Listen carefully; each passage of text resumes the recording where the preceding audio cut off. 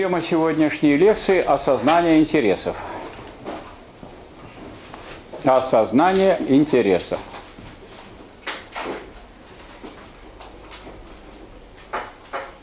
Осознание интересов. Ну, речь, разумеется, идет о каких интересах? Об объективных экономических интересах. Потому что если речь идет об интересах психологических, о том, что кому нравится и что привлекает внимание, правильно? Они не требуют обоснов... основ... Осознания, они как бы в сознании находятся изначально, да? Если мое внимание привлек этот объект, я им заинтересовался, то что тут, собственно говоря, выяснять? Вот это и у меня, я проявил к этому интерес. Вот и все. А если сейчас вот к вам проявил интерес, то вы объект моего сейчас внимания, и я, значит, пристально значит, наблюдаю за тем, как вы слушаете лекцию. То есть я хочу сказать сразу, что такой проблемы для психологов или для анализа психологических интересов, которые мы тоже должны учитывать, правильно? Что на самом деле, к чему человек, так сказать, привлекает свое внимание, а что ему выгодно. И можно даже сформулировать в одной фразе такое положение, которое содержит сразу оба интереса. Он интересуется тем, что ему невыгодно он интересуется тем, что ему не выгодно. Или он не интересуется тем, что ему выгодно. Ну вот вопрос о том, вопрос о том, каковы объективные экономические интересы, это вопрос познания экономической действительности, правильно? И как всякие вопросы познания, это сложный философский вопрос, экономический, поскольку речь идет о предмете экономическом – Поэтому все, что мы вообще знаем про познание, все к этому относится. Что познание никогда не бывает, так сказать, абсолютным. То есть оно в принципе абсолютно, то есть все можно познавать, все познаваемо. Та философская концепция, которая говорит, что нельзя познать мир, называется агностицизм. Гнозис – это знание, агностицизм – непознаваемость. Если мы с вами не агностики, если мы не заявляем, что это вот мы стоим на такой точке зрения, а все равно познать нельзя. Такая точка зрения у студентов иногда появляется, говорит, что учить, там все равно это не выучишь. Но он такой непоследовательный агностицизм. Они не в принципе считают, что невозможно познать. Ну, вот, так сказать, при том э, желании и стремлении, и при том старании, которое прилагается, наверное, это невозможно. Значит, надо приложить больше стараний, и тогда будет возможно. Но мы с вами не агностики, мы с вами говорим о том, что все познаваемо, и стоим на точке зрения, что все познаваемо. Это как бы другой вопрос, другая сторона основного вопроса философии, что мир материален, и вторая сторона этого же вопроса, что мир познаваем. Но в данном случае речь идет не вообще о мире, а о том, что человеку выгодно в силу того положения, которое он занимает в системе производства. Значит, надо производство знать, мы поэтому останавливались достаточно подробно на том, что такое производство. Надо понять, в чем, каково положение человека в этой системе. И рассматривать различные возможные изменения этого положения и выяснять, что и в какой мере выгодно, то есть что улучшает, что ухудшает положение человека и в какой мере. Это нужно осознать. Поскольку это вопрос научный, они все у нас ученые – как вы понимаете. И не все ученые, даже, так сказать, оказываются всегда правы. Поэтому неудивительно, что вопрос осознания интересов очень сложный. С другой стороны, значит, если другим представителям или представителям других наук не так уж и обязательно эту проблему решать, то для конфликтологов, которые пытаются разобраться в сути конфликта, ну, конечно, обязательно остановиться на том и выяснить, Александр Андреевич, лекция, я перезвоню после лекции. Угу, спасибо. Необходимо разобраться, что выгодно и что невыгодно. А без этого картину конфликта понять нельзя. То есть должна быть объективная картина конфликта, то есть что в основе лежит конфликта. Противоположность экономических интересов или различия в экономических интересах. Если даже различия в экономических интересах есть, то конфликт все равно возможен. Вот у нас с вами общие интересы. Вы зато вы заинтересованы в том, чтобы получить прочные и хорошие знания и Более того, удостоверить их соответствующей моей подписью и, соответственно, приказом. И в том вы заинтересованы, чтобы вас перевели, соответственно, на следующий курс. Так? Я в этом заинтересован.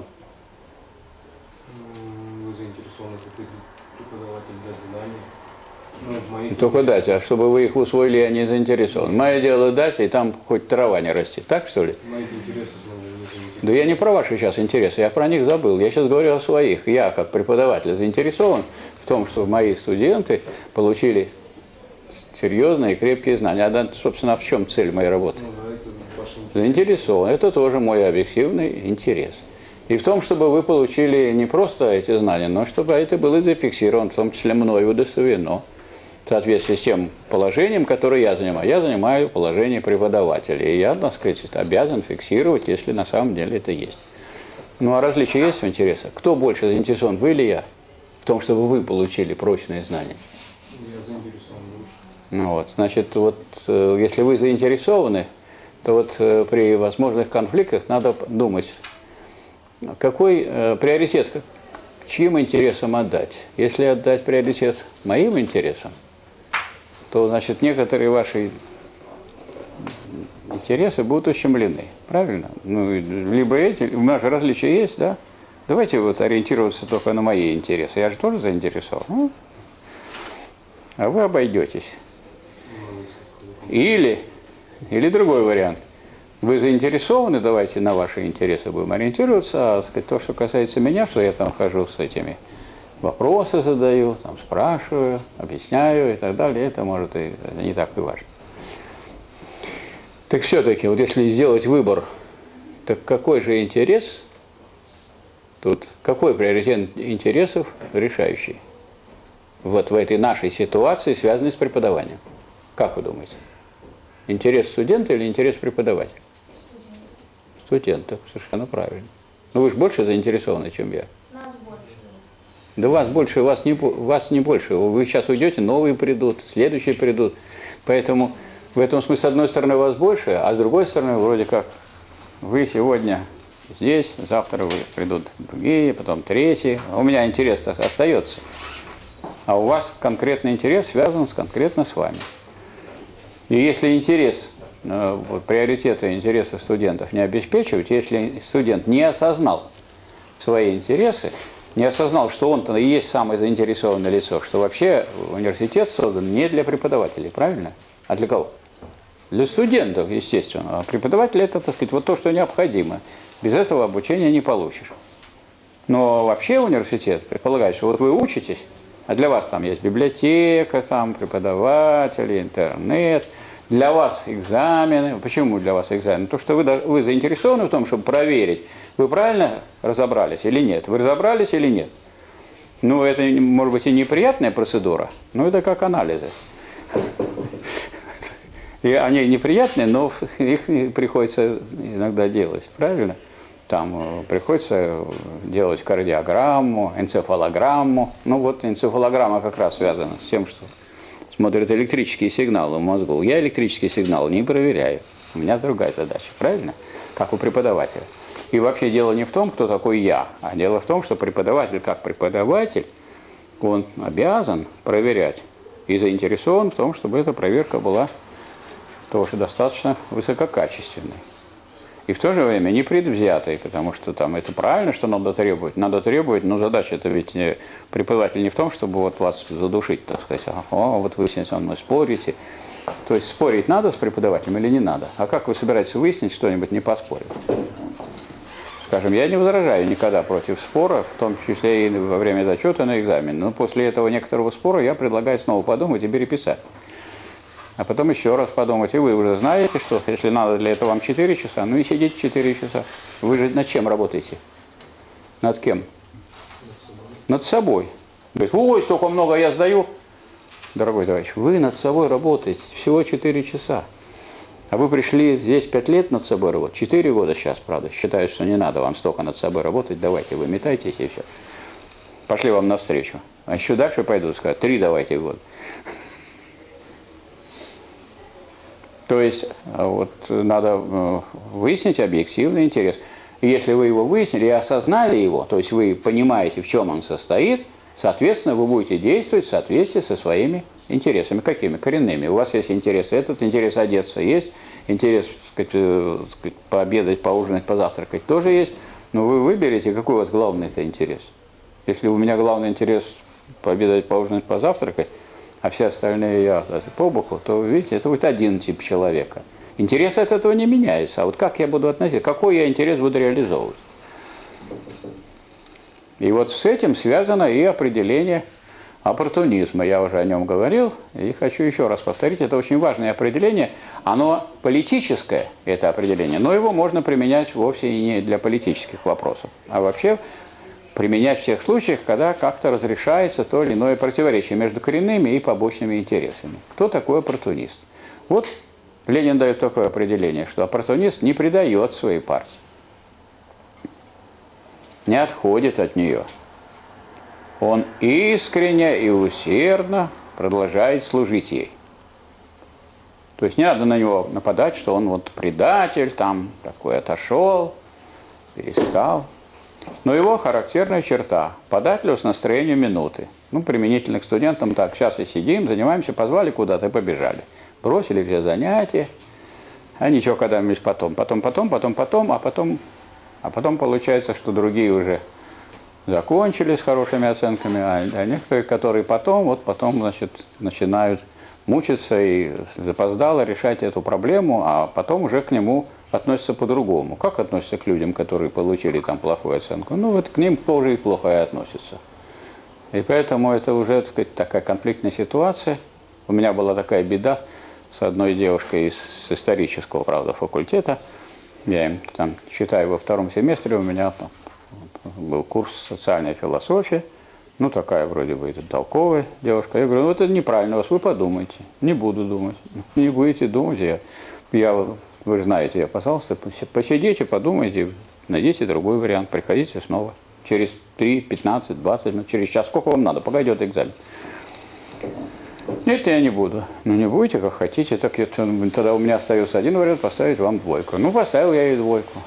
Ну, потом Значит, осенью это все равно дело вернулось к этому. Вот она пришла. И, кстати, сдала еле-еле на тройку. Так. Еле-еле. Конечно, уже там никаких споров не было, чего она будет спорить. Ты споришь, а завтра тебя отчислят. Потому что вот если второй, если я двойку при пересдаче поставлю, ну еще комиссия будет. Ну как вы думаете, в комиссии кого будут поддерживать, кому выгодно, как поставить этот вопрос? Мы же с вами интерес изучаем. Вот и сказать, ничего, будет комиссия, комиссия будет поддерживать, да, она будет, не будет поддерживать преподавателя. Что она скажет, вот студент лучше знает, да, как, как надо принимать экзамен. Ну, комиссия скажет, да, она объективно все рассмотрит, скажет, ну что, надо вам единицу было ставить. А этот вот либерал, вот Михаил Васильевич, поставил вам двойку. Вот, мы так и доложим, что он, так сказать, не проявляет недостаточную требовательность. И у вас, так сказать, умыли, и вы пошли я вам рассказываю не, так сказать, красивые всякие вещи, а рассказываем то, что бывает на самом деле жизни. Чем занимаются конфликтологи? Они не раскрашивают жизнь, они знают, что конфликт во всем. Во всем конфликте бывает. Причем я сейчас не говорю о противоположности интересов. Я намеренно взял случай, когда просто они различаются. Вот когда интересы различаются, тогда могут быть уже конфликты. И противоположные действия. Ну, берем, скажем, такой строй, сейчас у нас строй буржуазный, здесь очень легко все изучать. Есть буржуазия, у него одни интересы, есть рабочие, противоположные интересы. Давайте возьмем более сложный случай. Вот э, социалистическая страна, как у нас было в э, СССР после построения социализма. После построения социализма антагонистических классов не было. То есть не было таких классов, которые бы имели противоположные экономические интересы. Правильно? Значит, Одним из принципов социализма является власть основополагающих. Власть рабочего класса. Ну что, интересы рабочего класса противоположны интересам крестьянства. Ну вот как может прожить хорошо рабочий класс, если в селе будет очень плохо, крестьяне будут обездоленными, ну и не будет достаточно количества пропитания для того, чтобы и рабочие это имели. Вот и все. Если сельское хозяйство не будет развиваться, крестьянин не будет развиваться, они же создают жизненные вообще блага, без которых жить вообще нельзя. Это не компьютеры, это хлеб, масло, молоко, мясо. Без них невозможно просуществовать больше 40 дней. Правда, иногда люди голодают, как и хитро голодают, так голодают, что живут прямо годами. Я думаю, что это... Мне рассказывали, как Сахаров голодал в Нижнем Новгороде. Он просто ел творог со сметаной. Это называется у них голодовкой. Я считаю, что как студенты едят, тоже можно назвать голодовкой. Такая. Мы требуем хороших оценок. Вот. Требования выставили и голодаем. А, а, а, а что это как не голодовка? А как вы считаете, на 1450 рублей так разговеешься? Вот. Тут тоже может стать вопрос, а кому это выгодно, чтобы студенты вот получали? С точки зрения, вот, с точки зрения выяснения, что это выгодно правящему классу, правящему классу, скажем, буржуазии, что и выгодно, чтобы безграмотные были люди, что ли? Нет. В буржуазном это тоже неправильно, не сказать. То есть это вопрос об осознании интересов. Буржуазия хоть понимает, чтобы, хоть, чтобы развивался буржуазный строй и буржуазная Россия, нужно иметь квалифицированных специалистов. Квалифицированных. Не голодных студентов, а квалифицированных специалистов. А это, дескать, проблема. Вам вот кинем 1450, а вы как хотите решать. У вас есть папа, мама, и вообще вот решайте сами. Ну, хотя такой принцип, что, дескать, тут все самостоятельные, рынок все решит. А что тут рынок может решить? эту ситуацию. Очень просто он решает. Он, так сказать, отбрасывает в сторону людей, которые не выдержат это. Так. Так вот, в условиях социализма рабочий класс заинтересован в том, чтобы и крестьянам жилось лучше. А заинтересован рабочий класс в том, чтобы интеллигенты, там, скажем, преподаватели вузов, учителя, медики, врачи, чтобы они тоже получали свое благосостояние. Заинтересованные. Ну вот как вы думаете, вот сейчас вы пришли, я хирург, врач. Голодный, мясо не видел уже полгода, и вот пришло мясо. А я хирург. Ну это допустимо такое, голодного врача? Можно держать? Нет? Это ужас. Или он смотрит вам на глаза, в глаза, он смотрит, он смотрит вам на щеки. Говорит, мне бы такие щеки. Ну что это такое? То есть мыслимо немыслимо. Поэтому, безусловно, рабочий класс заинтересован и в одном, и в другом, и в третьем. Обратное неверно. Скажем, крестьяне могут улучшить свое положение за счет повышения цен на сельскохозяйственные продукты, а в городах будет ухудшение. И у рабочих, и у интеллигентов. Интеллигенты тем более может улучшить, могут улучшить свое положение. Мы же решаем, в конце концов. Интеллигенты сидят во всех бухгалтериях, в системе управления, и мы решаем и определяем, сколько кому начислить. Так, вам начислим 1450, нам 145 тысяч. Вот сколько у вас, значит, 1450, и у меня 42. 43 450. Ну, 50 я отбрасываю. В общем, больше 20 у нас на брата с вами приходится. Так что будете, когда спрашивать, у нас вот с профессором Поповым в среднем по 20 тысяч. И чего недовольны люди ходят, я не знаю. Просто что за люди? То есть мы такую с вами забрались в такую область очень интересную, в которой э, я не все расскажу сегодня, потому что тут бесконечно много всяких изменений и бесконечно много, следовательно, выводов. Но я продолжу определение оппортуниста. Я начал его, еще не закончил. Оппортунист не предает своей партии, не отходит от нее, он искренне и усердно продолжает служить ей, но его характерная черта – податливость настроению минуты. Раз – это с многими бывает, правда? Надо, вы знаете, что надо делать, но делайте не то, что надо, а куда вас понесло. Пришли, поболтали, поговорили и проболтали. А потом не вернем. Время-то не возвращается. Ни, никогда. Все можно вернуть. Время, как и жизнь, ее не вернешь. Поэтому, а кто отвечает за то, как вы заполните? Вы отвечаете кто за вас будет решать, к чем вы заполните время? Если запомните какой-нибудь трухой, барахлом, и у вас где будет, что будет в голове? Подумайте сами. Дальше. Податливость настроения минуты не способна противостоять моде. Вот мода пошла. Вот это вот. И, да, она бывает и в науке. Вот читать вот этих пустых людей. Вот их читают и читают. И сами становятся пустыми. Это вот книга источник знаний, но разные книги, разные источники. И больше или меньше знаний. Потому что знаний можно получить и одни, и другие. Некоторые, вот скажем, сунули сразу в Википедию. Вот если вы сунетесь в Википедию там по вопросу о том, а что такое компендий, вам скажут, что это, так сказать, нечто вроде такого собрания сведений о чем-нибудь. А если вы латинский словарь откроете, то выяснится, что компендий – это кратчайший путь, прямая дорога. Вот я никогда бы не советовал вам, не рекомендовал бы брать вообще словари философские. Никогда. Кто их пишет? Вы знаете хоть одного крупного философа, который написал словарь? Знаете такое, нет? Я не знаю. Значит, есть люди, которые какой-то серьезный научный труд написать не могут. Они собираются толпой. Вот давайте все вместе напишем словарь. Вы на какую тему будете писать? На какую букву? На Б. А вы на В а я на Я, а вы на Т, а вы на Р. И т-т-т-т. Такую книгу написали. Главный твердый переплет.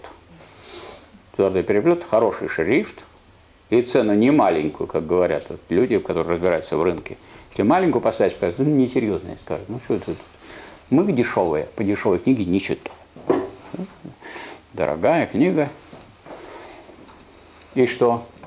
То есть ее она составили люди, которые каждый не способен написать серьезную статью. Или способен написать статью, но статья не глубокая. И что вы там от них хотите получить? Поэтому, скажем, люди, которые изучают историю и философию, да, действительно, там разные позиции, разные, даже ошибки есть большие, но у великих людей великие ошибки, но тем не менее их произведения могут многому научить. А если вы берете, если вы берете, так сказать, что-нибудь неглубокое, это, поскольку мода на это пошла – вот, казалось бы, после разрушения Советского Союза, значит, мода на марксизм, она как бы прошла. И пошла мода на э, буржуазную философию. Но буржуазная философия-то разная бывает. У Гегеля ведь тоже буржуазная философия, правильно?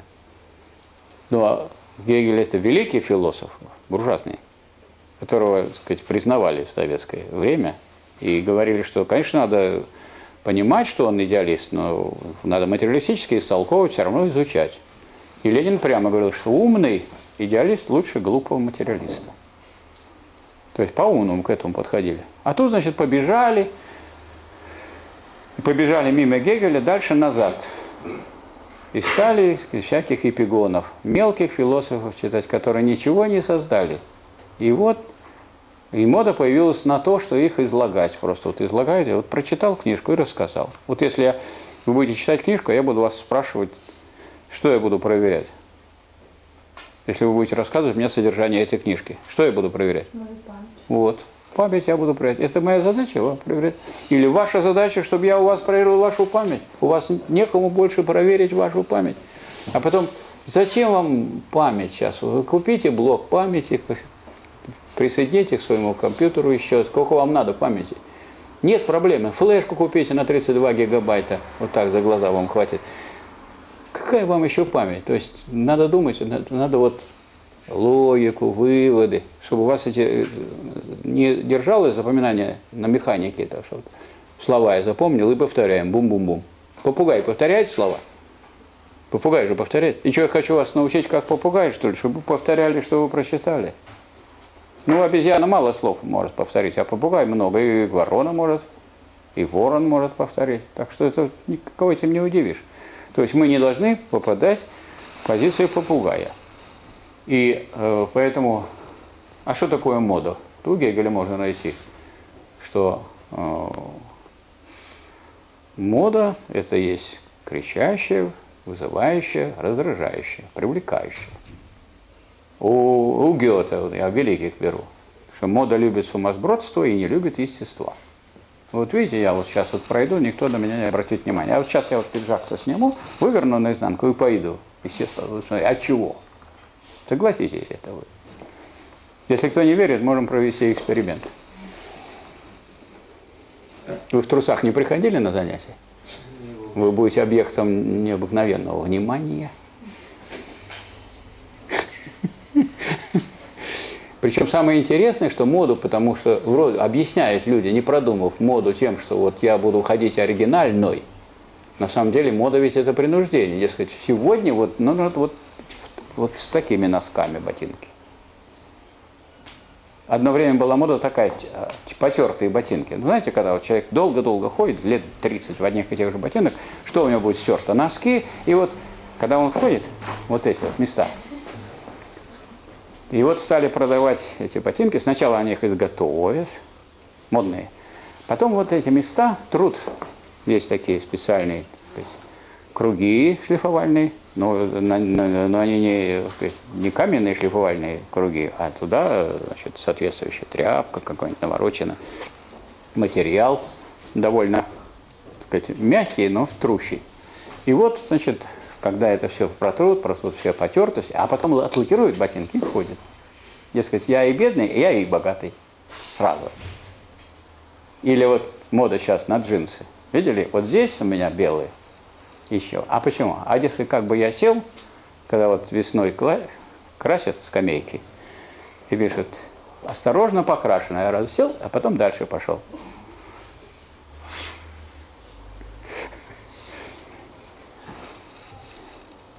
Или, скажем, такая дама уже в летах, у нее тут серьги золотые, и драные-драные джинсы.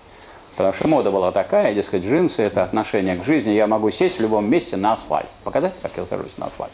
Сейчас покажу. В джинсах спокойно можно садиться. Ну, потом кинешь ее в машину, выстиришь, опять можно садиться. Ну, мы это знаем по ХБ. ХБ у нас всегда, армия была всегда у нас в ХБ. Чтобы можно было ползти, ползком, промокнуть, высохнуть, правильно? Что, тут что-то такое нового-то, неизвестно.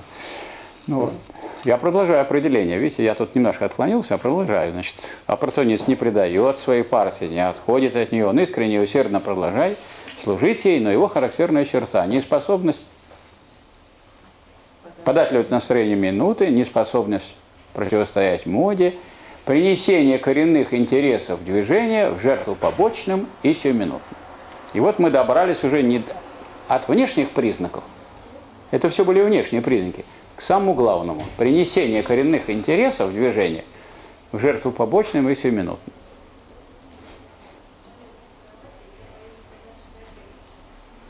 Ну вот студент, если его взять. Если у него все внешние признаки есть, если он приносит коренные интересы, у него и компьютер есть, у него и книжки есть, у него и в чем ходить ВУЗ есть, все есть, и чего нет, знаний только нет. Ну какой-то маленький пустячок. Ну или есть плохие – от кого это зависит? Ну, ну сейчас обсуждают вот все. Вот, в школе не так учат, учителя не так учат. Ну, как бы, ну, человек сам же должен учиться. А это костыли. Ну, выберите себе другой костыль. Ну, и с этим костылем можно пройти. Ну, кто, кто такие мы? Вот кто я такой вам? Это так все красиво называется. Там профессора, доктора. А нет, доктора, наверное, потому что лечат людей, да? Вот это что такое? Это костыли. Вы идете сами, вам нужны костыли. Пока. А потом вы эти костыли отбросили и пошли самостоятельно. Поэтому это временное явление. Кто, а в чем ваши коренные интересы? Ваши коренные интересы состоят в том, чтобы самим заниматься. А если вы пришли на экзамен, то для того, чтобы себя проверить, а мне какой-то, ну не будете вы знать, ну и я от этого не умру. У меня же интересы не столь глубокие. Вот я, конечно, заинтересован в ваших знаниях, но не в такой мере, согласитесь. Уже ваши родители больше заинтересованы, чем я. Я, конечно, тоже заинтересован. Мне будет приятно, что вот моя студентка, она уже вот вице-премьер. Ничего плохого. Ничего плохого нет. Но если она не, сама не занималась, то есть эту задачу, вот я хочу сказать, борьбу с оппортунизмом, ее нельзя. Оппортунистом можно стать без всякой политики, а просто вот свои коренные интересы вы преотдаете в жертву сиюминутно. И кто это противоречие должен разрешить? Кто? Дядя придет, конфликтолог, Александр Иванович придет, заведующий кафедрой. Кто это разрешит? Я буду разрешать, преподаватель, если вы придете и спросите меня, как разрешить, я совет могу дать. А как надо э, относиться к советам? Меня вот мой коллега, декан экономического факультета, профессор Моисеенко, фронтовик, очень легко научил. Миша говорит, выслушай и сделай по-своему. Вот я вам гарантирую бесконфликтную ситуацию со старшим поколением. Вот вам какую-то чушь это мелют люди старшего поколения, я и себя туда включаю. Ну, с вашей точки зрения, чушь. А иногда и на самом деле чушь. А вы сидите внимательно так слушаете. И я вам гарантирую, вот если вы выслушаете и потом сделаете по-своему, у вас конфликта не будет. А если вам вот говорят, говорят, а вы, нет, я не буду там то все, ах, не будешь, Да, тебе денег давать не буду, это отниму, то отниму, и начинается. Так? То есть выслушать-то не умрете, если выслушаете. Страшно. Вот вы уже все время тренируетесь выслушивать на лекциях, сидите и слушаете. Мало ли что вам так сказать, нравится, не нравится, но вы сидите же. Поэтому надо в обычной жизни применять чаще. Представьте, что вы на лекции, и вам начинает это вот. Есть даже анекдот по этому поводу. По Невскому в 2 часа ночи. Мотоциклист на огромной скорости мчится. Ну, милиционер увидел сразу, раз на машину, догнал, остановил. Ты куда? Я на лекцию. А, на лекцию. Вот отпустил, тот поехал дальше. Потом милиционер думает, какая лекция, два часа ночи. Он опять на машину, догонит. Догнал того. А ну что у тебя за лекция? Да я, говорит, к жене на лекцию спешу. А, ну и поезжайте. Лекции же разные бывают. Так что лекции можно любые выслушивать. Мало ли чего люди говорят. Ну, человек хочет поговорить, пусть поговорит. Спокойно. Вы же конфликтологи. Вы чем должны отличаться от других людей? Они сразу в драку, а вы да, да. Еще есть такой э, анекдот тоже. Они, можно иногда на них и поучиться. Их, правда, хороших мало. Знаете, что такое анекдот? Определение нет? Не знаете? Это короткий рассказ с неожиданной глупостью в конце. Обязательно какая-то неожиданная глупость. Вот милиционер сидит, участковый, поздно. У него много осталось бумаг не заполнен. Бумаг много, там он пишет, пишет, пишет. И вот женщина приходит, говорит, вот, можно с вами говорить? Да, он говорит, можно. И пишет, пишет. Ему скучно там писать. Он все пишет, надо все заполнить. Тем более тут такие случаи, там, то два трупа, то все, надо все это, все фиксировать, документировать. Она говорит, ну вот вы тут сидите, а кругом бандитизм, воры, а вы все тут сидите. Он говорит, да. Они разгуливают, они могут напасть на людей. А милиционер говорит, пишет, продолжает, да, спокойно так. Но они уже убивают вот людей. У меня сын, между прочим, бандит. О, милиционер пишет, да, пишет спокойно. Никак их не вывести из равновесия. Вот он придет сюда и вас убьет. Милиционер так обрадовался, говорит, а! Как ему понравилось, что хоть это его скучное его существование разбавили этим делом. Ну, в этом смысле, вот, что такое конфликтолог? Там люди дерутся, а конфликтолог, значит, тут сразу указывает, на какую он сторону встал, или это какие-то свои предметы. Послушать сначала, да? Послушать, вот, послушать, послушать. Вот вы так и делаете, вы все время слушаете целый семестр, потом в конце только я вас слушаю. И то недолго, правда? Так что тренировка у вас, только надо понимать, что это у вас конфликтологическая тренировка как раз идет сейчас. Так что вот оппортунизм и действия оппортунистические сплошь и рядом. Люди сплошь и рядом оппортунисты. В том смысле, что они свои коренные интересы привносят в жертву. Вот сидят у телевидения и смотрят. Говорят, что делаешь? Балдею. А что значит балдею? Становлюсь балдой. И это правильно сказано, балдею. Почему? Да потому что он, так сказать, не то, что он разобрался, какие есть прекрасные передачи, где-то что-то великое и глубокое показывает, очень важное. Нет, он просто пришел, включил, и вот что ему там наливает, то, значит, ну, как будто у вас голова это помойное ведро, и, значит, туда это льется, льется. А там много-много программ, если хотите, из скольких труб, чтобы лилось, из многих труб. То есть на самом деле, как везде, и книг хороших мало, и передач хороших, в общем, мало. Какая цель у телевидения сейчас? Скажите, пожалуйста. Развлекательный. А? Что значит развлекательный? Цель какая? Я вас что, развлекаю, вам зачем? Что, понравились вы мне? Зачем я вас буду развлекать? Деньги получать. Деньги дай, давай. Развлекательные. Вот в этом и развлечение. Вам песни строить, нам жить помогает.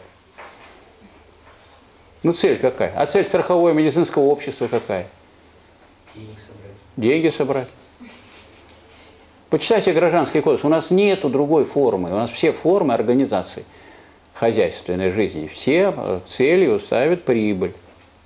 Поэтому говорит, вот у нас медицинская, страховая медицинская компания. А чем она озабочена? Ну чем она озабочена? Чтобы деньги собрать страховые. А еще чем? А чтобы меньше выдать. Я однажды пошел по полису добровольного страхования, шея у меня болела, говорит, давайте проверили, говорит, вам надо массаж. И поэтому полису тут, значит, у нас вот нет уже ничего, всех разогнали. Вот там, где у нас была поликлиника, у нас там кафедра наша находится теперь. Мы там чувствуем тот запах еще, я-то знаю, чем пахнет. И вот, значит, отправили меня куда-то далеко, там на Невский, около Литейного, в какую-то поликлинику, где кто меня отправит? Страховое общество. Они звонят, согласовывают. Мы вас туда, туда, хорошо, туда. Приехал. И там, значит, говорит, массажа нет. Нет. А что делать? Ну, давайте, говорит, вместо массажа вам сделаем Дарсенваль. Ну, мне это все равно массажа не думаю. Хотя хоть узнаю, что такое Дарсенваль. Да-да-да, причесывает, и там все искры у тебя. А зато, говорит, а говорит, вам хорошо, у вас волосы будут расти, лысые не будете. И вот, значит, тетенька мне этот вводит эту расческу электрическую. Тут вот эти молнии у меня везде, потрескивает все. Говорит, Михаил Васильевич, а что вы, вот, почему вы на массаж-то не пошли? Да сказали, что нет. Да это, говорит, что непонятно. Вот это вот сестра, которая это делает. Потому что массаж стоит 200 рублей, а это стоит 35. Вас перевели. И толку никакого у вас не будет. Ну, волосы, может, у вас действительно лучше будут расти. Вот если бы так было с образованием нашим, еще хуже бы было. У нас были страховые образовательные общества. Деньги сначала туда, а что останется уже в вузы. Как в медицине. В медицине же страховое общество, все деньги туда, а то, что останется врачам, а то, что останется от врачей, пациентам. Если останется. Но в свое время совет ректоров, все-таки вузы это вузы, тут народ серьезный, очень сильно бунтовал и добился того, чтобы вообще ни в банке не шли деньги. Деньги на зарплату и стипендии идут напрямую э, в казначейство. Знаете, что у нас есть казначейство? Помалкивают все об этом. Государственное казначейство. У нас есть отделение этого государственного казначейства. То есть там деньги, никаких там процентов, никто ничего не забирает. И из казначейства сразу сюда. И у нас прекратились перебои, а в начале, там, вот, в 90-е годы были перебои в зарплате. То ли будет, то ли не будет. То миллионы платили однажды, я 2 миллиона получил, побыл миллионером. Когда все вот так, ну недолго, два месяца, пока отпуск не закончился, деньги все кончились, и все. Потому что цены-то выросли еще больше, чем зарплата.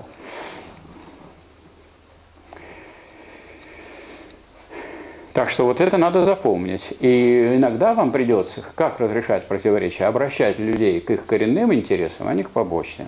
Что-то они погнали за побочными интересами. И вот они тут конфликтуют, вот, конфликтуют, просто насмерть вот был с вами, разодрался я. Ну, а у нас общие интересы, у нас коренные интересы совпадают в основном? Совпадают. Ну что, давай лучше чай пойдем попьем, да, поговорим спокойно. Ну что драться? То есть надо выяснить, а есть ли основания-то для этого? Потом, скажем, мы вот конфликтологи, у нас тоже надо поставить вопрос, мы какие будем конфликты экономически разрешать? Если мы хотим конфликты разрешать в принципе, скажем, между капиталистами и рабочими, ну, в принципе, разрешается очень просто. Когда не будет капиталистов, не будет тех людей, у которых есть э, один только интерес максимизации прибыли, и общество, общественная собственность предполагает, что сообща управляет этим процессом и, соответственно, делит потом то, что получается. Есть общественные фонды потребления, есть распределение по труду, нету продажи рабочей силы, нету. Потому что вообще продажа рабочей силы – это редкость, это, ну, можно сказать, изюм во всей, во всей истории, потому что в первобытно-общинном коммунизме, когда было когда была общественная собственность, и 90 тысяч лет человечество прожило вот в этом обществе. Была продажа рабочей силы? Нет. Ну вот, сейчас, если у нас с вами первобытный коммунизм, так, вот, мужики, мы идем все собирать орехи, коренья, если яму большую вырыем, туда кол ставим, возможно, туда да прикроем все такими ветками да листьями, может, туда свалится крупное какое животное. Типа слона. Вот было бы хорошо, да? Нам надолго тогда бы хватило.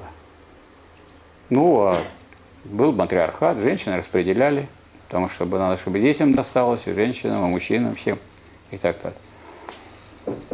Был там, была там собственность на покупку рабочей, там, да, об этом не может быть речи. Ну хорошо, рабовладение, а может нравится, может не нравится. Зачем я буду покупать вашу рабочую силу, я вас целиком куплю. Вот вы будете моим рабом. Это что значит? Тут что я скажу, то вы будете делать. А если не будете делать? Вы спросите, а если не буду делать? То вас не будет. Очень просто и понятно. И я останусь. А почему? А потому что рабство ведь появилось как? Я же выиграл в битве с вами. Вы мой поверженный противник. А с противником что можно делать? Но если его оставляете ему жизнь, пусть радуется. Вы радуетесь, что вы на меня работаете. Вы осознали свой интерес, а так бы вообще вас не было. Я правильно излагаю или нет? В целом. Теперь крепостной крестьянин. Зачем мне его рабочая сила покупать, если я помещик? Вот вы у меня работаете 4 дня в неделю. Мы с вами очень дружно работаем. Вы будете управляющим у меня. Я уже вас присмотрел. Я вам меньше работы, больше внимания. Так, но смотрите вот за ними, вот, чтобы они тут работали не покладая. Пропалывать, чтобы поля, чтобы ни травинки не было. Как только увидите, так, ну а вам поручается бить плетьми. Можете не бить, тогда вас будем бить плетьми. Бить плетьми можно? Крепостных? Чего вы смотрите? Можно, можно. Чего вы волнуетесь? Некрасово читали, вчерашний день, в часу в шестом, зашел я на Сенную, там жили, били женщину кнутом, крестьянку молодую. Это не так давно было. Не, ну у вас не было, и меня не было. Но, не, в общем, сравнительно не, недавно. Когда крепостное право отменили это все? В 1861 году. А до этого это все по закону.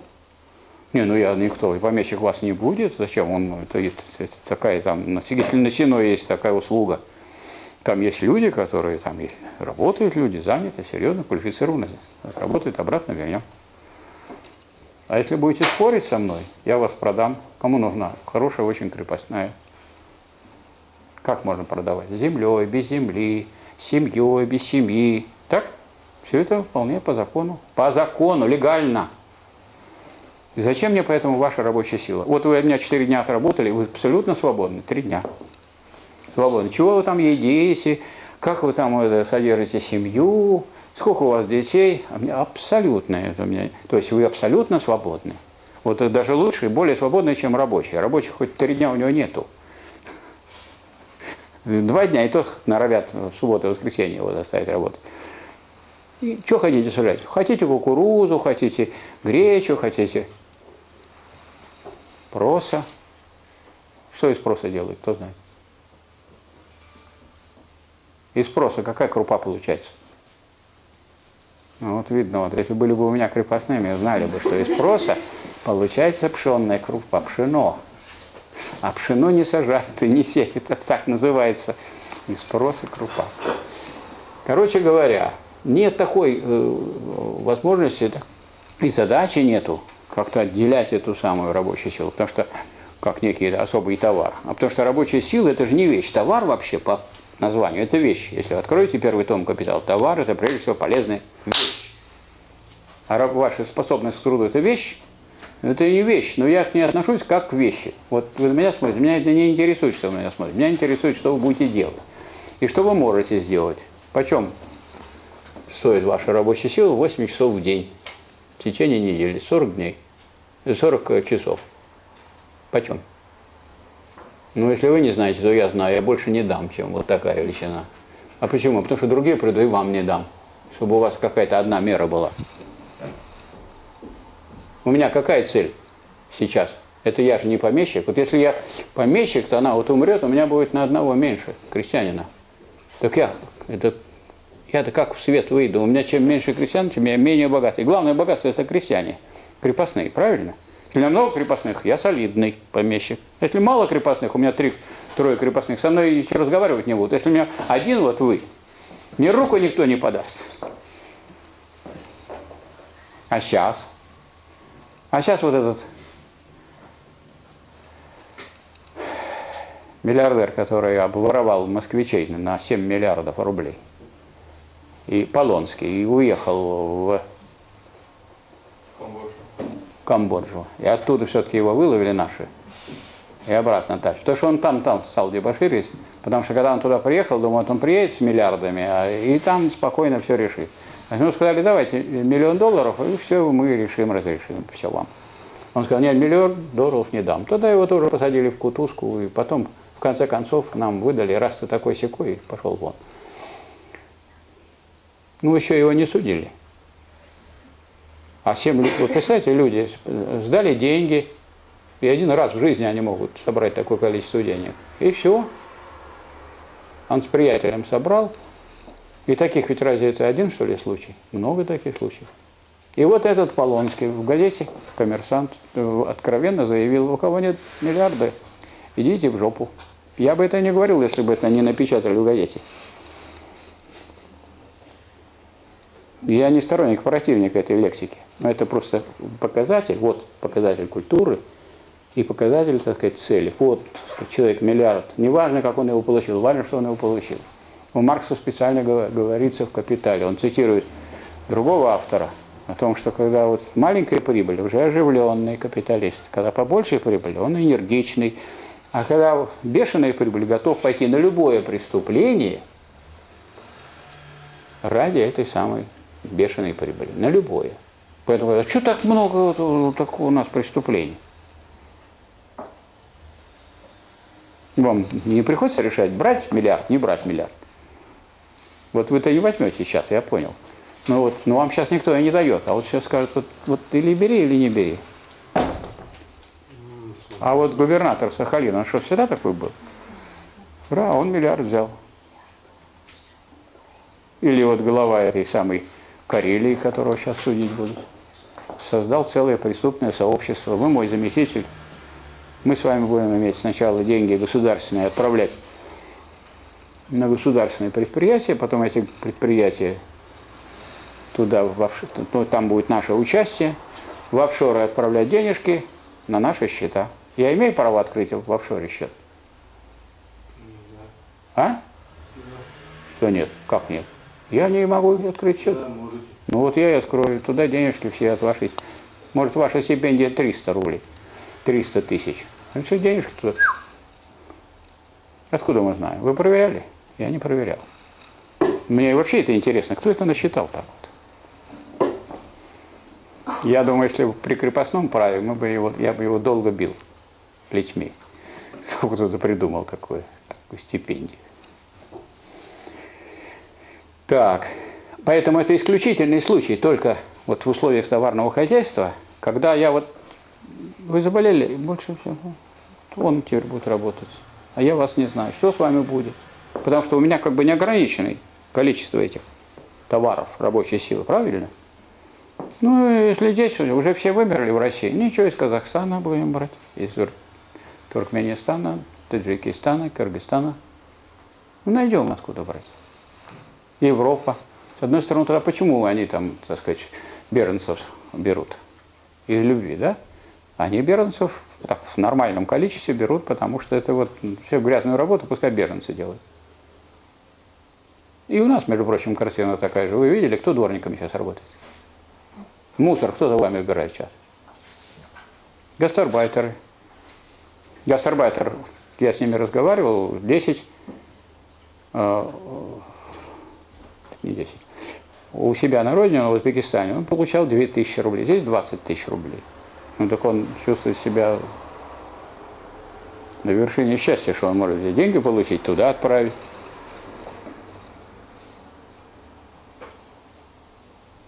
Так вот, это я зачем стал рассказывать, что если сказать, мы сейчас говорим о конфликтах, которые разрешаются, либо они в корне разрешаются, тогда нет этой продажи рабочей силы. Но это уже другой общественно-экономический строй, социализм. А если в рамках капитализма, тогда они разрешаются каким путем? Они разрешаются таким путем, чтобы и прибыль получил капиталист, да? И рабочий тоже получил зарплату. Это совместимо. Есть такие варианты хозяйствования, когда это совместимо. Потому что если я доведу своих рабочих до такого положения, что что они будут умирать прямо у рабочего места, никакой прибыли у меня не будет. И видно по нашим вот предприятиям, что так и происходит. Сказать, никто не идет вот в эти рабочие. А что к вам идти? Вы ничего не платите. Кто к вам пойдет? Так же нельзя хозяйствовать. Какой конфликт был у Форда с другими капиталистами? Конфликт был на почве того, что Форд красил все, все помещения светлые цвета внутри, грязь всякую убирал, обучением занимался рабочих и повышал им зарплату, что они больше получали, чем другие, чем других капиталистов. И другие капиталисты его судили, судили его судом присяжных. Единственное, что его оправдали, он, наверное, собрал вот таких, как вы, говорит, ну, если я эти деньги выплатил рабочим своим, они куда их понесут? Они вам, а у вас ларек, вам понесут, вам вы пойдете, на это будете, это ваши будут деньги, вам. За что вы будете голосовать? Они проголосовали, что его оправдали. А то бы засудили этого Форда. А он миллиардер был. Но он внедрял научно-технический прогресс. И за счет этого у него прибыль росла. И зарплаты росли. Ну, конечно, прибыль у него росла быстрее, чем зарплата, как вы думаете. Да. Ну, по некоторым статьям его не оправдали, в частности. А? По некоторым статьям его не оправдали, в частности. Ну, это потому что суд должен быть такой, не, не, не такой уж мягкий. Он должен по некоторым оправдать, по некоторым. Ну, в целом это оправдали. Ну, например, за одну из книг нет. А? За одну из книг нет.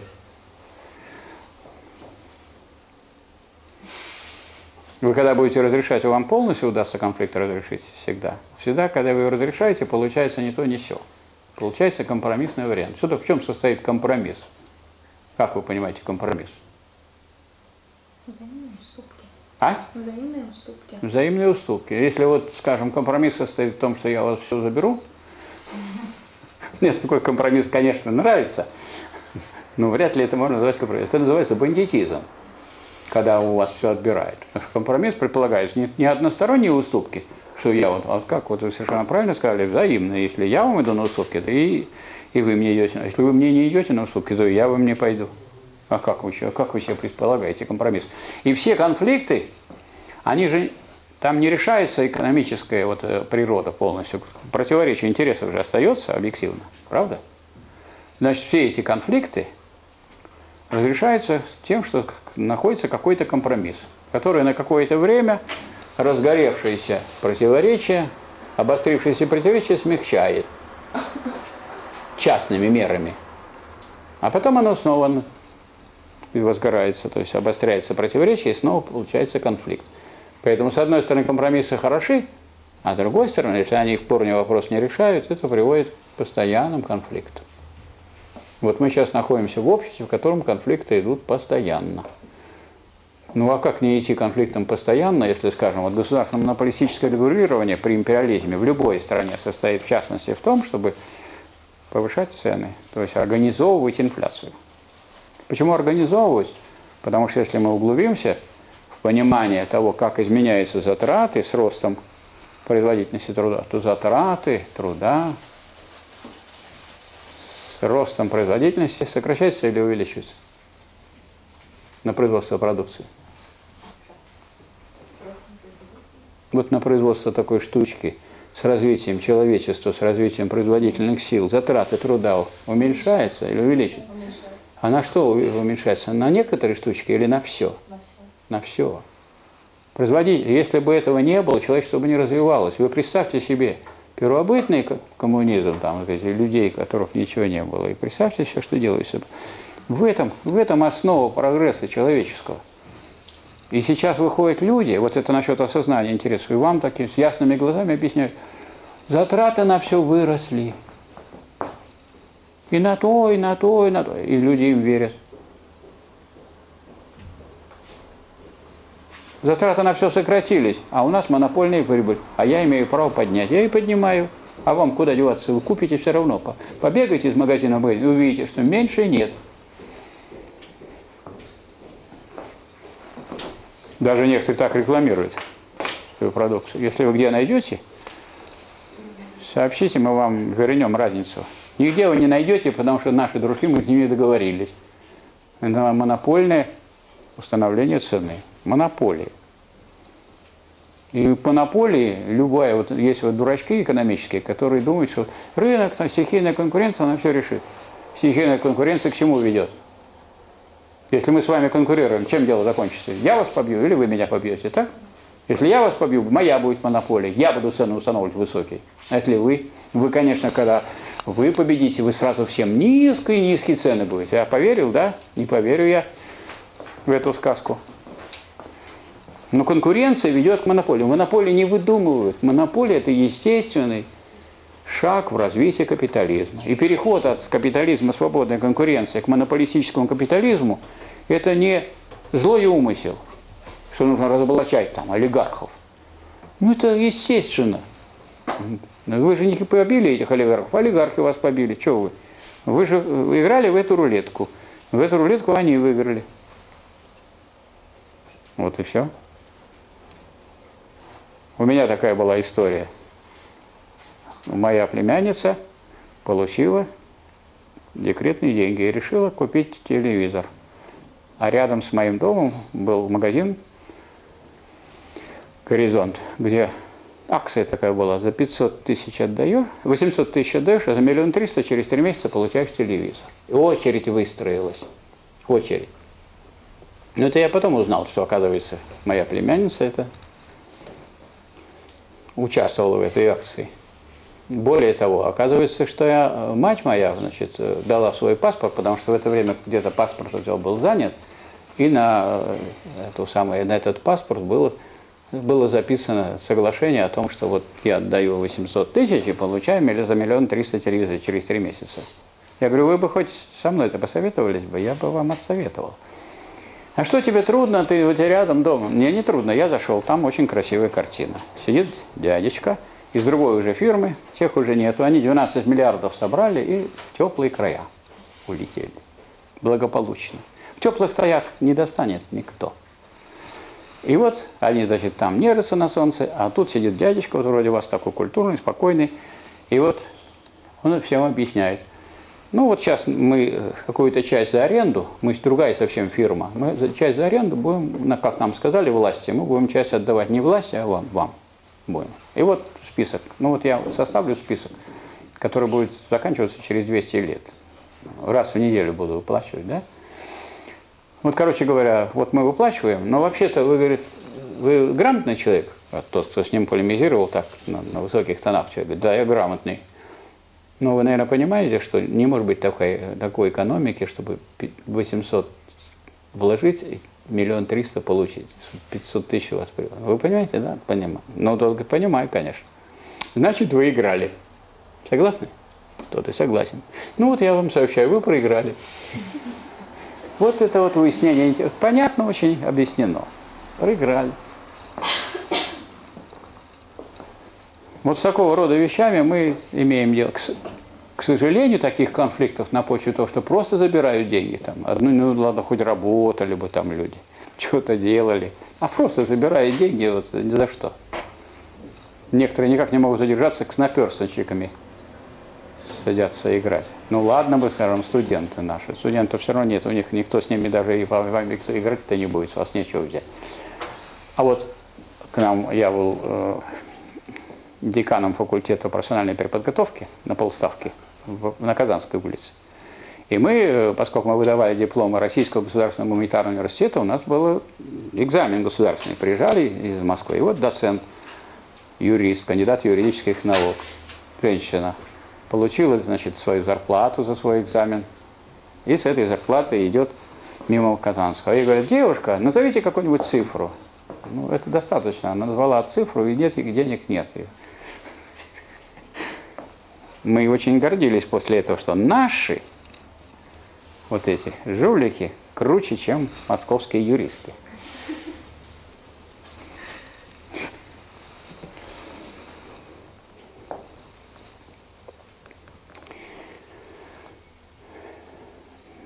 Эта проблема осознания интересов очень глубокая. Потому что если мы возьмем не такие конфликты, которые мы в основном будем разбирать с вами, экономические, да, социально-трудовые. А если мы возьмем еще более крупные конфликты, война. Ну кто воюет? Вот, скажем,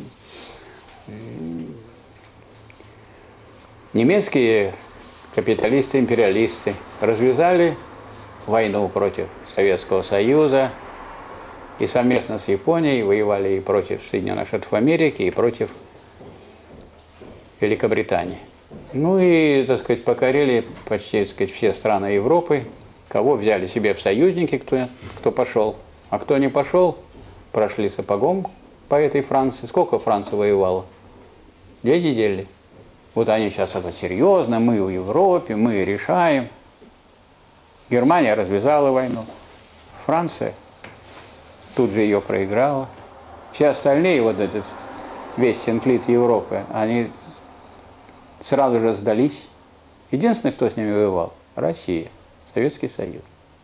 Вот они нам сейчас говорят, вот мы, вы противоречите, все, такая Европа?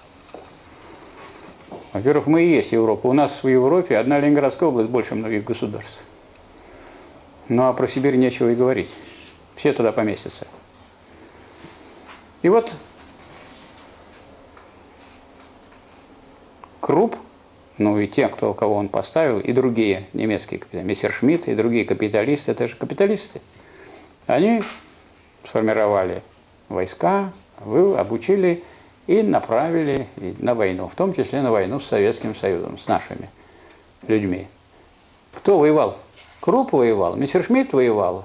Мессершмитт на самолете, Круп из пушечкой стрелял.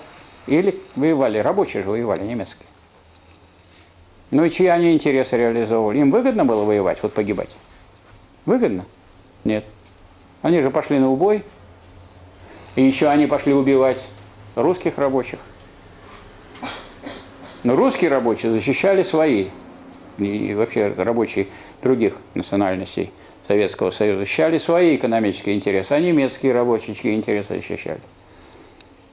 Своих капиталистов, ну уж не свои. Что, ну что своего? Ну, потеряли 9 миллионов человек. У нас потери примерно одинаковые по военным. У нас около 9, и у немцев около 9. Но поскольку они убивали мирных жителей, у нас потери 27. А поскольку наши люди не убивали мирных жителей, у них 9. Потому что вместе со всеми. А в Первую мировую войну? Вот я был в Бельгии, водили меня на э, поля, где э, бои проходили. Там музей есть Первой мировой войны. А там фотографии или да, специальные такие картины, где показано, можно посмотреть, диорамы.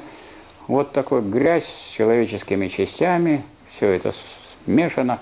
Народу погибла тьма, добавок газов применялись тогда. Город Иприт, думаете, в честь чего назван? Мы в городе Ипр были. Мы не город Иприт, а город Ипр. Там мы были с вами, в Бельгии. В честь этого города, где впервые применили отравляющие вещества, вот назвали газ Иприт – про него рассказывают, что он, наверное, хорошо пахнет, но только ни один человек, который понюхал, не вернулся с того света. И поэтому рассказы эти все подозрительные. Не особенно надо им верить. И вот там фамилии, фамилии, фамилии на воротах, или вот представьте себе огромное кладбище, столбики, столбики, столбики, столбики, просто столбики беленькие, и вся зеленая трава. И тут написано, и капрал такой-то из Новой Зеландии, ефрейтор такой-то из Австралии. Ну, что он сюда приехал вот? Если поставить вопрос, что, за чьи интересы он воевал, вот здесь, он в Бельгии, его и вытащили из Новой Зеландии, с хорошего места, из Австралии, и он воевал тут и пал нелепой смертью, в общем. Более того, перед войной, Первой мировой, все социал-демократы приняли решение совместно и во всех странах, что мы будем выступать против империалистической войны. Да здравствует пролетарии всех стран, соединяйся. Нет империалистической войны. Это хорошо сказать «нет». А как сделать? А чтобы сделать, надо было, чтобы когда будут военные голосования за военные кредиты, каждая социал-демократическая партия, которая считалась партией рабочего класса в соответствующей стране, должна была не просто сказать «мы против войны, войны нет», и что? И дальше не расцветай. А дальше идет война, а я сказал, и все. И я хороший. Нет, надо проголосовать против военных кредитов. А военное время объявляется, военное положение. Вот вы проголосуете против военных кредитов? На каторгу. Кто проголосует? тот на каторгу. Как хотите, у вас свобода, как хотите, так и голосуйте.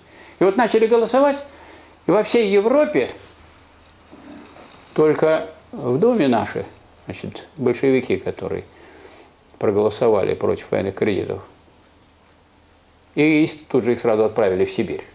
Это Бадаев, помните Бадаевские склады? Вот Бадаев, Муранов, Шагов и Нагин. И вот вы поднимаете руку и поехали сразу в Сибирь на свежий воздух. А в германском Рейхстаге один человек. Кто? Не знаете фамилию? Ну, таких людей не так и много. Всего один. Кроме вот этих наших русских депутатов, еще один человек в Европе. И все. На вот все страны Европы и на все эти самые партии. Вот эти партии показали свой оппортунизм. Что встал вопрос о коренных интересах, о, о, о битве уже, о том, чтобы превратить Европу в мясорубку. Они, так сказать, им сказали, или вы идете, я вам еще сказал, или идете в Сибирь на каторгу, или идете в правительство. То, что мы, если вы голосуете за военный кредит, мы вас берем в правительство. А что там? Нам женщины нужны в правительстве, нам надо показывать, что у нас равенство. Вы можете ничего и не делать, просто сидите хорошо. Хорошая прическа, чтобы была, и платье красивое. Все, больше от вас ничего особенного не требуется. Но если что надо, у нас есть спичрайтеры. Вы напишите, и вы напишите. А вы прочитаете, что они напишут. Хорошо. А если вы сами что-нибудь скажете, это тоже приветствуется. Вон Горбачев, он же ни одной статьи не написал, ни одной книги, все писали спичрайтеры. Сейчас вышла книжка Болдина, который был начальником аппарата Горбачева. Ну, все мы ему писали. И это ужас. Я понимаю, что нужно второстепенные дела отдавать. Если я большой начальник, второстепенные вопросы другим. Но самое главное-то не отдавайте, самое главное-то вот. Неужели, скажем, Ленин или Сталин бы кто-нибудь за них писал? Да они что угодно могут поручить, но только не это. Тогда кто руководит-то? Кто, кто прибежит, кто напишет такую чушь? Потом концов не могут найти. Кто разработал концепцию развитого социализма? Я вот ищу следствие пока инициативно, пока не нашел. Я знаю, что Цыпко там в этом участвовал, еще кое-кто, но так вот никто не признается. Потому что те люди, которые с этим выступали, с докладами, они же выступают как? Вот так написано, так вот написано. Вот объясняет Брежневу, что и это не, не Тэтчер, а Индира Ганди. Он говорит, а написано Тэтчер.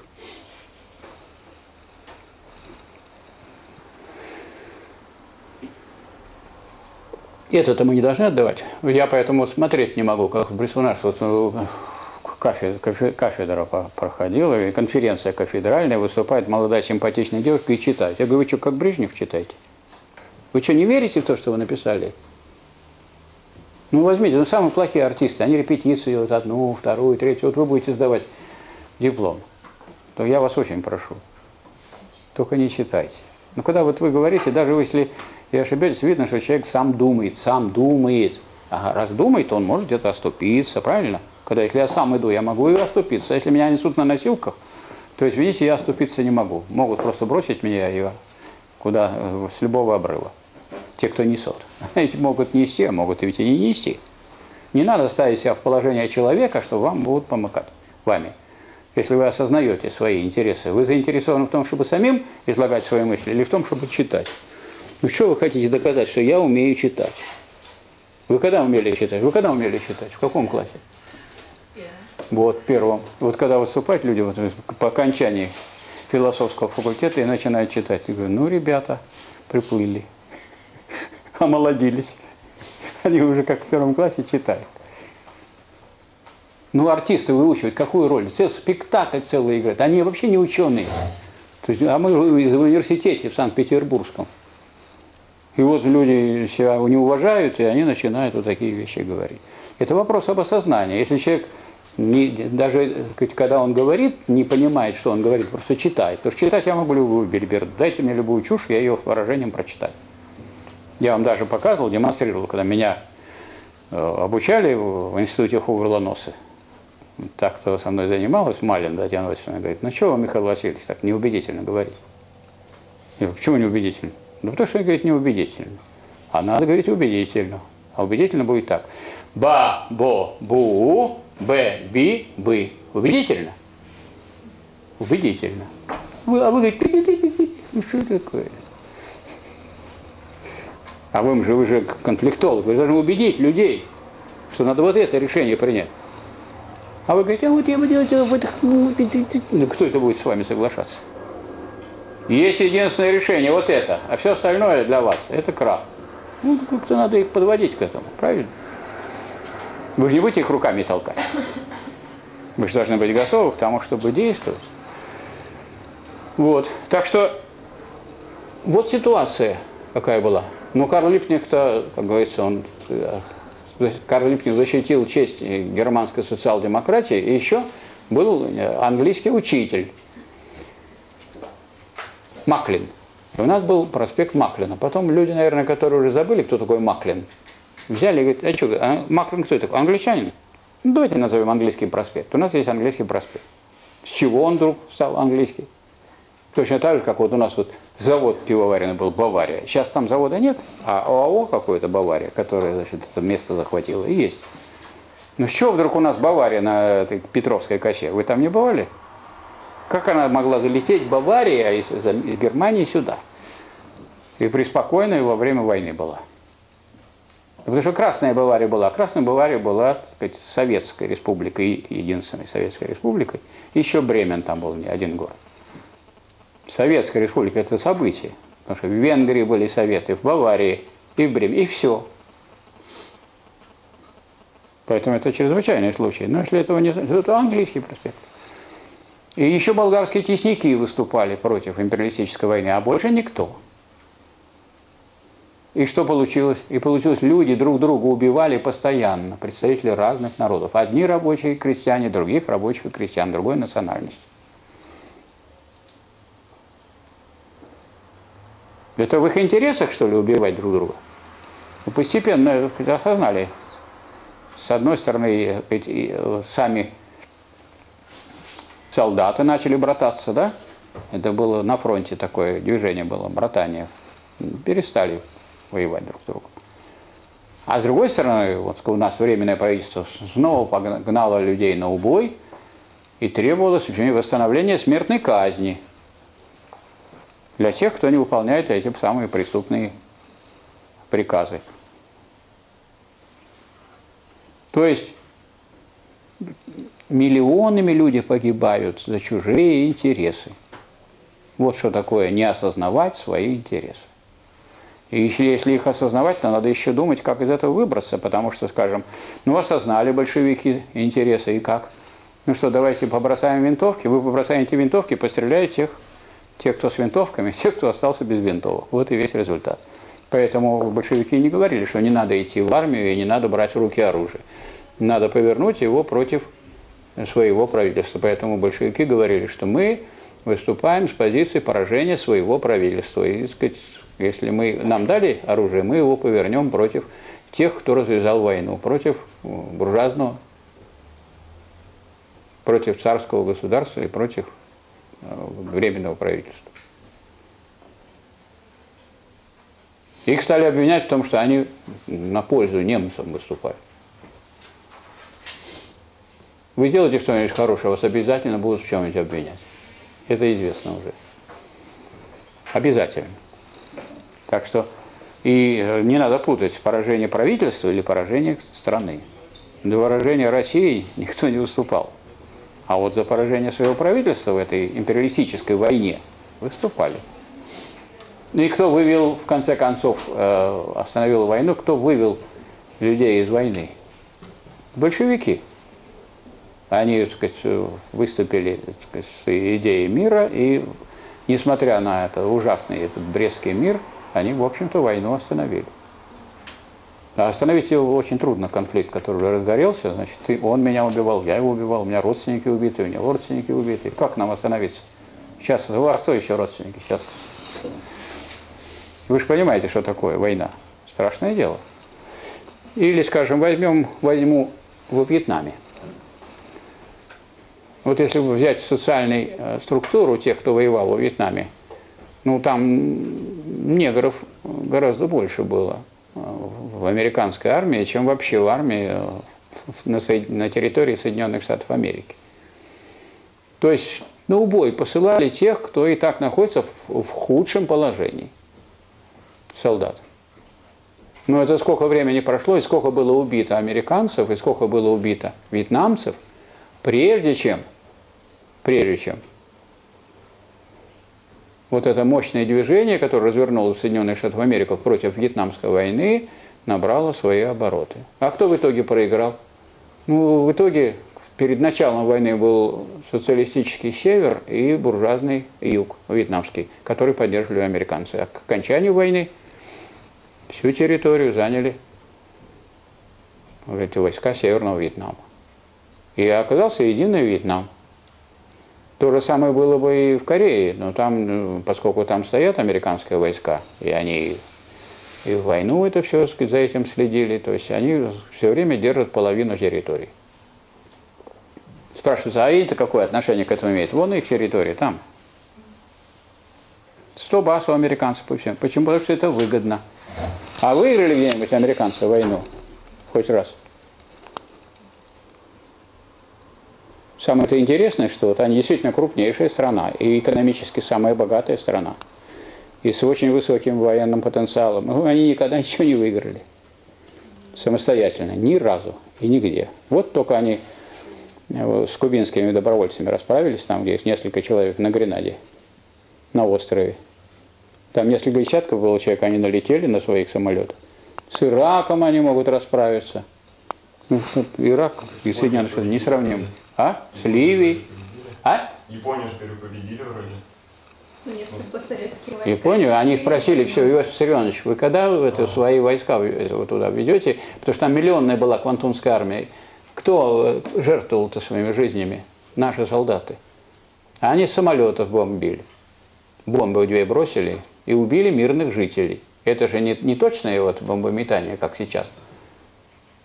Кто, кто погиб-то в Хиросиме? А все погибли, и, младенцы, и женщины, и мирные граждане.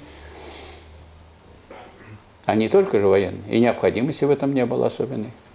Но им же нужно было не мир поделить, чтобы прийти к этому самому пирогу. И как вы думаете, вот они, вот наши войска перешли в наступление 1 сентября, нашли, пошли на территорию Кореи. Думаете, американцы тоже пошли? Нет. Наши дошли до середины, до оговоренной величины. А потом, когда наши, так сказать, по существу все решили, после этого, как говорится, обычным пешим порядком, не в порядке военных действий, зашли американские войска. В соответствии с договоренностью, которая была. Тут ничего никто не нарушил, все так и было.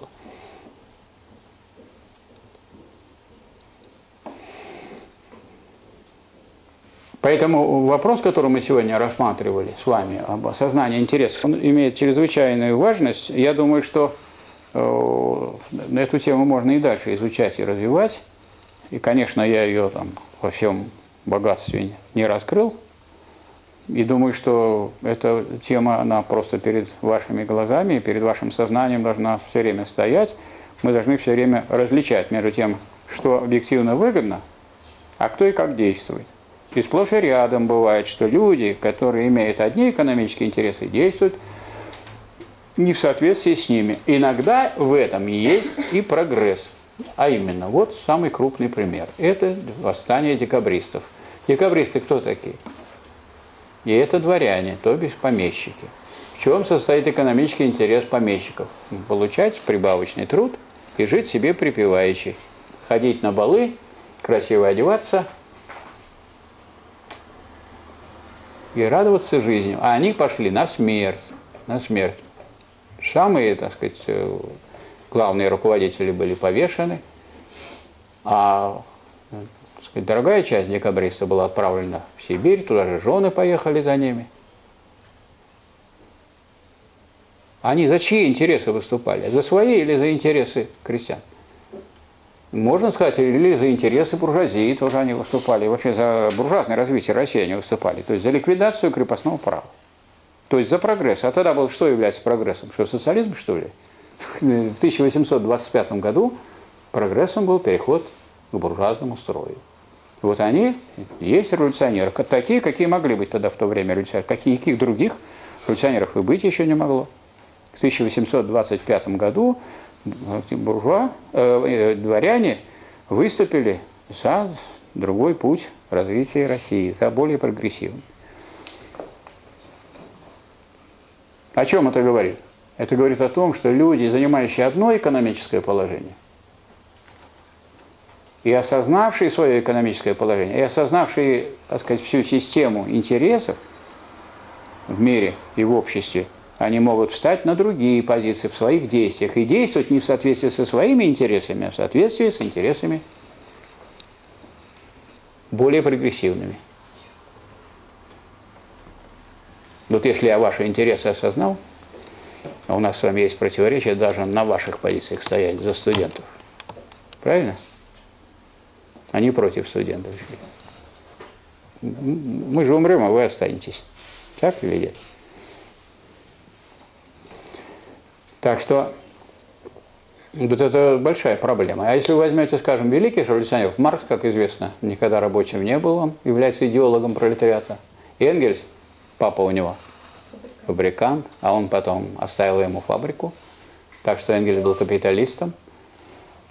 Ленин, как известно, дворянин 16 лет, Дзержинский дворянин, Калантай, дворянка. То есть а, они даже а они участвовали не только в буржуазной революции, они и в социалистической участвовали в революции.